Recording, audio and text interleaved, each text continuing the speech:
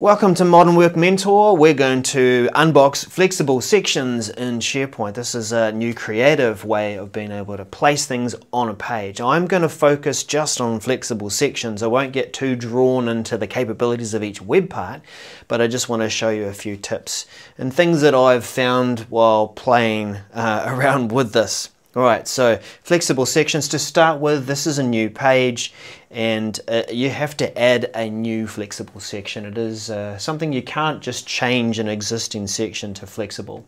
Um, what are flexible sections? Well, uh, up until now we've had the uh, columns that we use or maybe you know full width type ways of putting content on a page as a three column and I could drag a text web part in here, an image web part here, um, let's just drop uh, an image in there and then maybe some quick links over in this part. So very rigid ways of being able to put things on a page. Uh, but the flexible section is something that we can, uh, we can add. So let's just get rid of this one to start with and uh, we'll add our flexible section.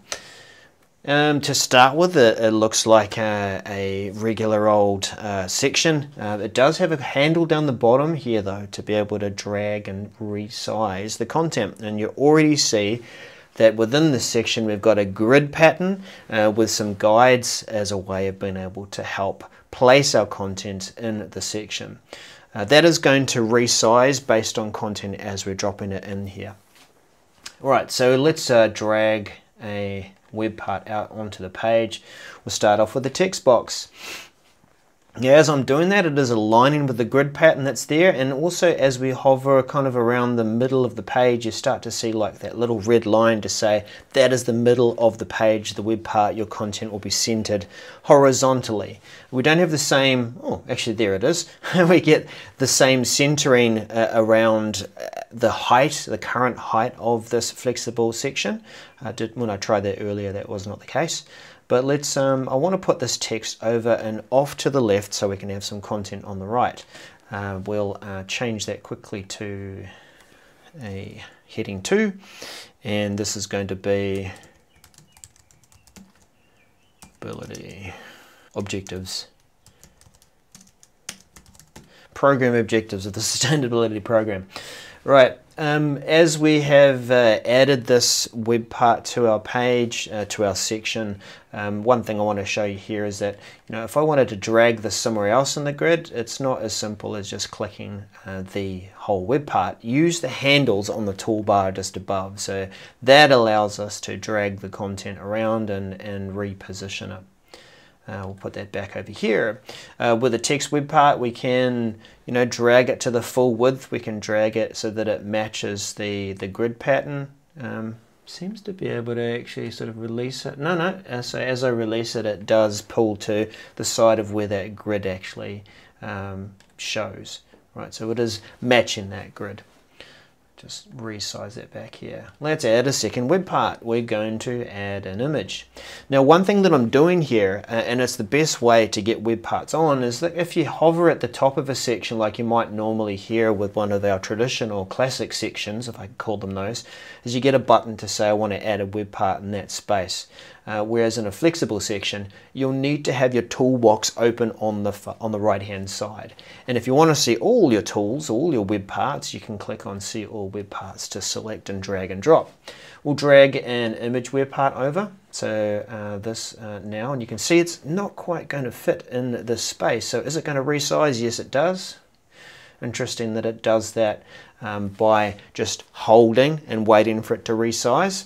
Um, we'll upload a new image. Let's go and find mm, that one there of my desktop. Not really a sustainability image, but we get the idea. Upload and add that. And we'll probably just reshape that to be something like a pebble. So you're getting the sense here that I can, again, use the handles above and drag that image to wherever I want it to be in this section. Um, one thing that you might experiment with uh, is dragging that text over the top. Uh, and you already see that there's this concept of layers. Um, in fact, as we look at that toolbar, you'll see there's a new layer button that allows us to Uh, and we're very familiar with this within Microsoft products like PowerPoint and Word, that you can bring things to the front or maybe just step it back one layer, bring it forward one layer as we go. Um, so what have I got selected here? The text, I'll bring that forward, I'll bring it to the front. Oh, okay, and this is our first uh, experience of what you will find with working with these flexible sections that at the moment feels kind of buggy. Uh, I'll point this out as we go, but it sort of rearranges content and pushes things out of the position that you want it to be in. So my first tip, so you don't get driven crazy, is that you actually drag the content that you want onto the flexible section, get the things out onto the canvas, so to speak, and then position them and resize them as needed. So let's actually go through some of those exercises and then we'll start working with um, the actual content. I do want a second text box. Um, I want to be able to just place that in under here and then actually add some paragraph text around that. Um, I want to add a quick links web part. So I'll drag that onto here. Um, I'm going to get rid of this image web part because I actually want to put there in place of it a stream web part to show like an introduction video to the sustainability program. So let's delete that and we'll drag out our stream web part.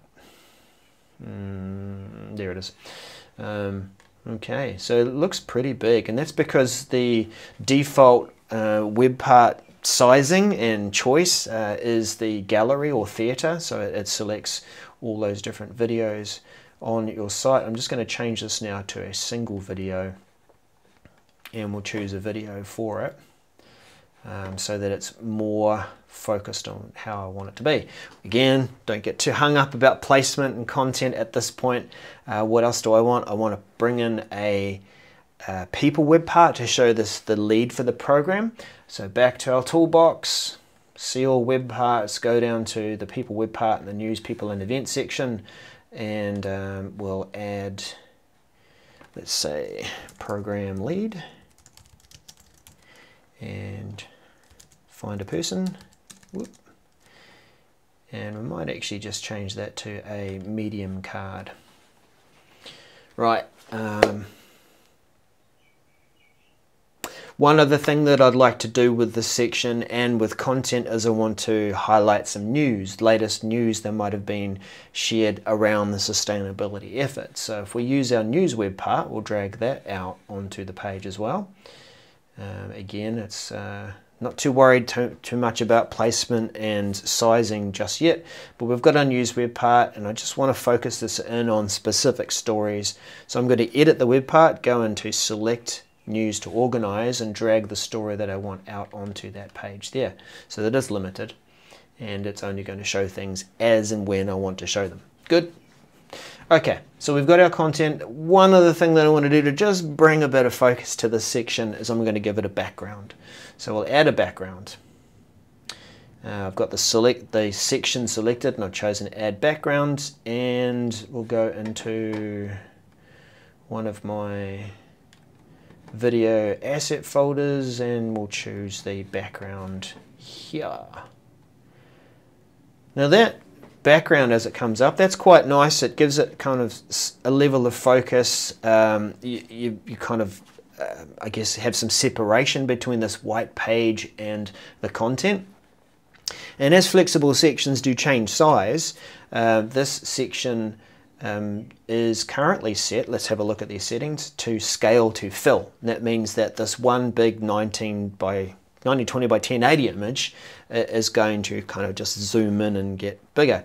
Uh, but it is the kind of image that I can tile, so I am going to change this to tile so that it um, it still maintains the same size of the objects in the background and just repeats as a pattern. Great, we've got content on there now. Uh, actually, there was one other thing I was going to do, which is add some content to the text web box, uh, text box about the sustainability program. And we'll paste that into here. Now we can work on layering and positioning the content because at the moment it absolutely is a mess. Um, the other thing that I found too is that with the toolbox open, you're not truly seeing the real size of what the section looks like on the page. So it pays to tuck that toolbox out of the way and now we can actually see how it will look and you can see um, because all the content is on the page and it's sort of a bit of a mishmash but I've got like this thinner side to the right and a lot more space over here on the on the left. So I want to have a look at that to kind of balance up the content and the layout.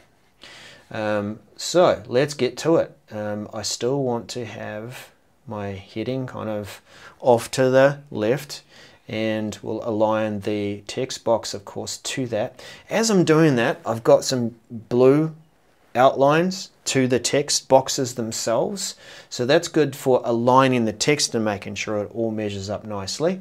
Um, I'm going to just maybe give that a bit more room and similarly with the text over here. Right, so that's all resizing the text nicely as part of that.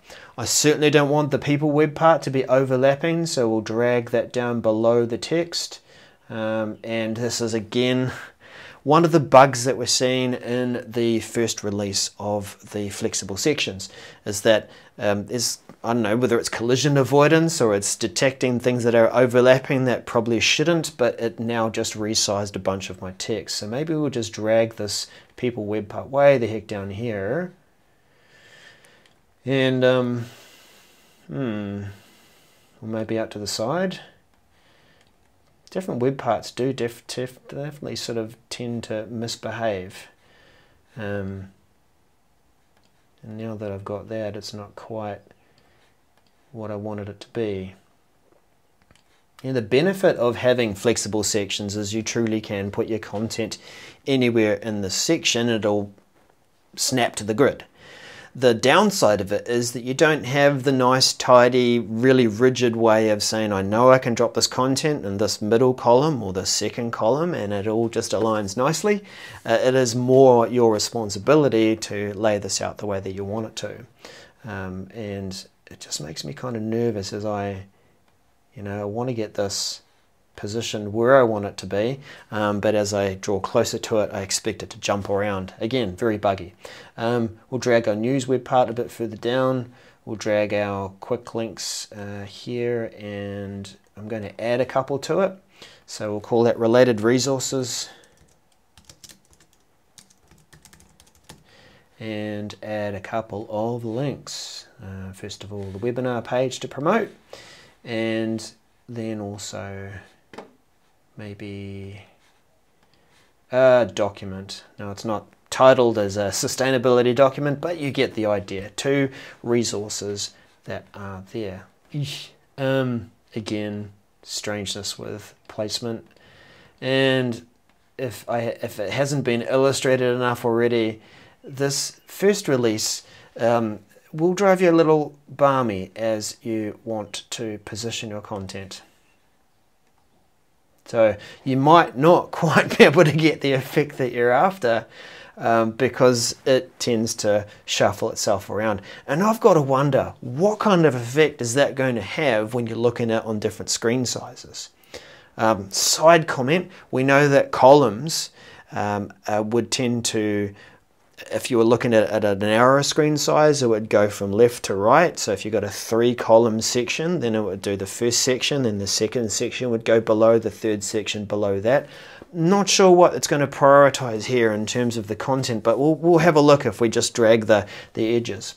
Um, so it's not quite the look that I'm looking for, but you get the idea. It is definitely, um, definitely flexible. Definitely flexible. Okay, so uh, let's save the page. What does this look like?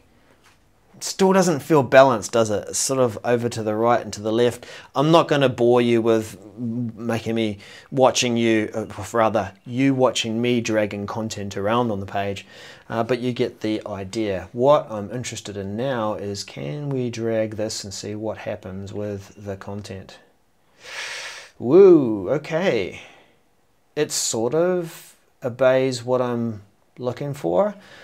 Does some kind of weird stuff there with the text um, and the text boxes. It's overlapping now the people web part. And I think this is why SharePoint's trying to be helpful here and it's throwing the web part into a place where it knows it's not going to overlap. But here we have it. It's, uh, it's got trouble.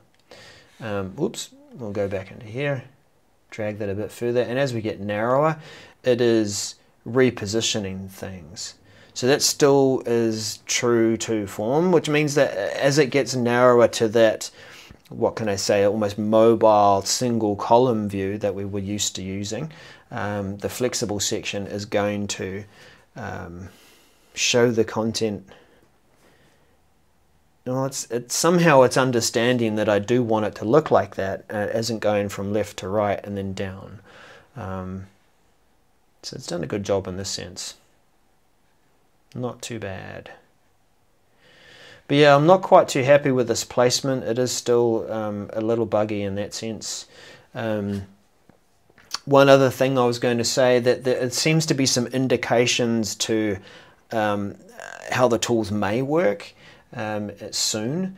You know, as, as we're working with different objects on a canvas like this, we might want to select multiple objects, group them together, or maybe align certain objects with other objects. And we get those sort of guidelines as we drag them, right? So I could drag this video so that I can see just with, I guess, a blue line there as it's aligning with the sustainability objectives heading text box um, that I can get it to align like that. And alignment has been a challenge for sure with with um, even sections that we might use in a traditional sense, column sections. Um, but yeah, it's it's like I'm still having trouble here with.